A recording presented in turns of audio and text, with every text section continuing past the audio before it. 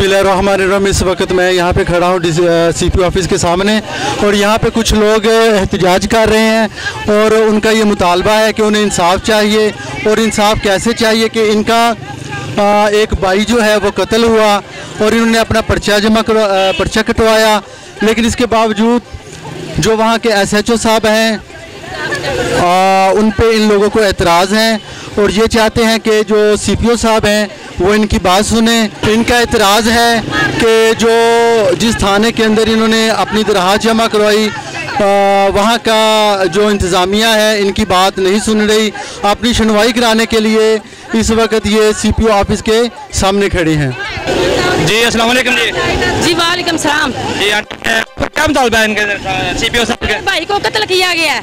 तो क्या अभी तक आपको इंसाफ नहीं मिला हमें इंसाफ नहीं मिला हम इंसाफ चाहिए इंसाफ चाहिए ਸਾਨੂੰ ਭਾਈ ਨੂੰ ਮਾਰ ਦਿੱਤਾ ਗਿਆ ਉਸ ਆਪਣੀ ਬਗੈਰ ਤਾਂ ਔਰਤ ਨੇ ਆਪਣੇ ਭਾਈਆਂ ਦੇ ਨਾਲ ਰਲ ਕੇ ਸਾਡੇ ਭਾਈ ਨੂੰ ਮਾਰ ਦਿੱਤਾ ਕਤਲ ਕਰ ਦਿੱਤਾ ਗਿਆ ਸਾਨੂੰ ਇਨਸਾਫ ਨਹੀਂ ਮਿਲਿਆ 8 ਮਾਹ ਹੋ ਚੁੱਕੇ ਨੇ ਇਸ ਗੱਲ ਦਾ ਸਾਨੂੰ सी पी ओ साहब की कह रहे हैं तुसी कि आए हो या एक दो दफा अगे भी कभी आए हो या नहीं आए हो पहली दफा आए हो हमें तो यही बताया गया आप बाद में आना बाद में आना जब भी पुलिस में जाते हैं हमें यही कहते हैं चलो आपकी रिपोर्टें आएंगी रिपोर्टें उस औरत ने हमारी रुकवा दी गई है हमें इंसाफ नहीं मिला हमें इंसाफ चाहिए जी आंटी जी आप क्या कह रही हैं ਤਿੰਨ ਮਹੀਨੇ ਉਹਨਾਂ ਮੁਜਰਮ ਫੜੇ ਨੇ ਬਾਅਦ ਚ ਛੱਡ ਦਿੱਤੇ ਨੇ। 8 ਮਹੀਨੇ ਹੋ ਗਏ ਨੇ ਨਾਵਾ ਚੜ ਪਿਆ ਸਾਨੂੰ ਕੋਈ ਇਨਸਾਫ ਨਹੀਂ ਮਿਲਿਆ।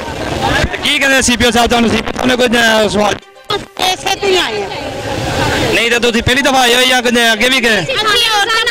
ਥਾਣੇ ਵਿੱਚ ਚਾਹੀਦਾ ਲੇਕਿਨ ਸਾਡੀ ਕੋਈ ਗੱਲ ਥਾਣੇਦਾਰ ਨਹੀਂ ਸੁਣਦੇ।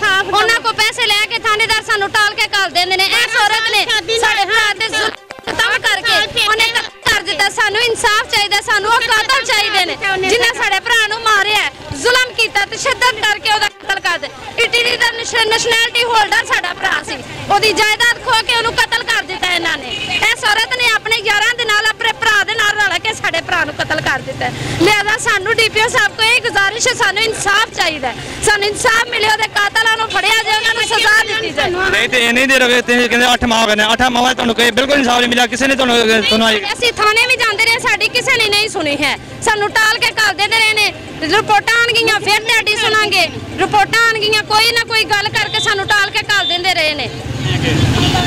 ਤੇ ਇਨਸਾਫ ਹੁਣ ਕੀ ਤੁਹਾਡੀ ਅ, ਤੁਹਾਨੂੰ ਉਮੀਦ ਹੈ ਕਿ ਇੱਥੋਂ ਇਨਸਾਫ ਮਿਲੇਗਾ ਇਨਸ਼ਾਅੱਲਾ ਅਸੀਂ ਅੱਲਾ ਕੀ ਬੜੀ ਉਮੀਦ ਲੈ ਕੇ ਅਸੀਂ ਇੱਥੇ ਆਈਆਂ ਵਾਂ ਅਸੀਂ ਚਾਰ ਭੈਣਾਂ ਵਾਂ ਸਾਡਾ ਭਰਾ ਛੋਟਾ ਜਿਹਾ ਸਾਡਾ ਭਰਾ ਇਹਨਾਂ ਨੇ ਜ਼ੁਲਮ ਕਰਕੇ ਕਤਲ ਕਰ ਦਿੱਤਾ ਹੈ। ਸਾਨੂੰ ਇਨਸਾਫ ਚਾਹੀਦਾ ਹੈ। ਔਰਤ ਜਿਹੜੀ ਉਹ ਲੱਖਾਂ ਨੌ ਦੇ ਰੁਪਏ ਕਢਾ ਕੇ ਉਸੇ ਟਾਈਮ ਹੀ ਉਹ ਦੌਲ ਤੇ ਚੱਲ ਆਈਏ ਔਰ ਬਈਆਂ ਨਾਲ ਉਸ ਦਿਨ ਬਚ ਗਈ ਅੱਗੋਂ ਦਾ ਸੁਸਰ ਜਿਹੜਾ ਉਹ ਵੀ ਫੌਤ ਹੋ ਗਿਆ ਉਹਨੇ ਬੱਚੇ ਅੱਜ ਤੱਕ ਨਹੀਂ ਸਾਨੂੰ ਮਿਲਾਏ ਸਾਨੂੰ ਬੱਚੇ ਵੀ ਅੱਜ ਮਿਲਾਣ ਨਹੀਂ ਤਾਂ ਤੁਹਾਨੂੰ ਬੱਚੇ ਵੀ ਨਹੀਂ ਉਹਨੇ ਮਿਲਾਇਆ ਇੱਥੇ ਕਿ ਉਹਨੇ ਉਹਨੇ ਬੱਚੇ ਨੂੰ ਬਾਪ ਨੇ ਬਾਪ ਦਾ ਚਿਹਰਾ ਨਹੀਂ ਨੌ ਵੇਖਣ ਸਾਲ ਦਾ ਦਿੱਤਾ ਬੱਚਾ ਹੈ, ਜਨਾਜ਼ਾ ਪੰਜ ਨਹੀਂ ਸਾਲ ਦੀ ਕਰਵਾਉਣਾ ਬੱਚੀ ਹੈ। ਉਹਨੇ ਆਪਣੇ ਬਾਪ ਦਾ ਚਿਹਰਾ ਨਹੀਂ ਬੱਚਿਆਂ ਨੂੰ ਵਹਾਇਆ ਸਾਡਾ ਅੱਬੂ ਆਪਣੇ ਪੁੱਤਰ ਦੇ ਗਮ ਨਾਲ ਫੌਤ ਹੋ ਗਿਆ।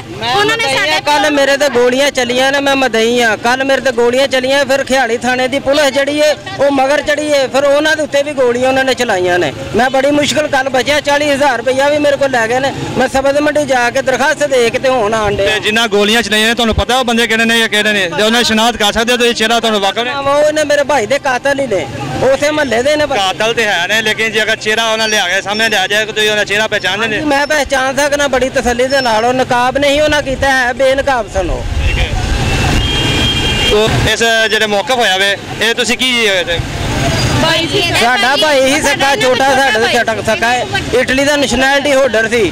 ਉਹਦੀ ਬੇਗਮ ਦੇ ਉਹਨੇ ਕਾਗਜ਼ ਵੀ ਬਣਾਏ ਉਹਨੇ ਆਖਿਆ ਮੈਂ ਬਾਹਰ ਨਹੀਂ ਜਾਣਾ ਹੈ। ਲਿਹਾਜ਼ਾ ਉਹ ਦੌਲਤ ਤੇ ਪ੍ਰਾਪਰਟੀ ਉਹਦੇ ਕੋ ਖੋ ਕੇ ਉਹਦੇ ਭਰਾਵਾਂ ਨੇ ਤੇ ਉਹਦੀ ਜਨਾਨੀ ਨੇ ਉਹਨੂੰ ਫਾਂਸੀ ਲਾ ਕੇ ਬੁਗਦੇ ਮਾਰ ਕੇ ਸਿਰ ਦੇ ਵਿੱਚ ਉਹਨੂੰ ਕਤਲ ਕਰਕੇ ਬਾਹਰ ਸੁੱਟ ਦਿੱਤਾ। ਫਿਰ ਉਹਨਾਂ ਨੇ ਸਿਵਲ ਹਸਪਤਾਲ ਦੇ ਵਿੱਚ ਸੁੱਟ ਦਿੱਤਾ। ਪੁਲਿਸ ਵਾਲਿਆਂ ਨੇ ਡੀਐਸਪੀ ਮੋਜ਼ਮ ਨੇ ਨਦੀਮ ਖਾਲਦ ਭੁੱਟੇ ਨੇ ਔਰ ਜਵੇਦ ਇੰਸਪੈਕਟਰ ਨੇ ਉਹਨਾਂ ਕੋਲ 80 ਲੱਖ ਰੁਪਈਆ ਲੈ ਕੇ ਉਹ ਪੁਲਿਸ ਸਾਰੇ ਮੁਜ- ਮੁਜਰਮ ਛੱਡ ਦਿੱਤੇ ਨੇ।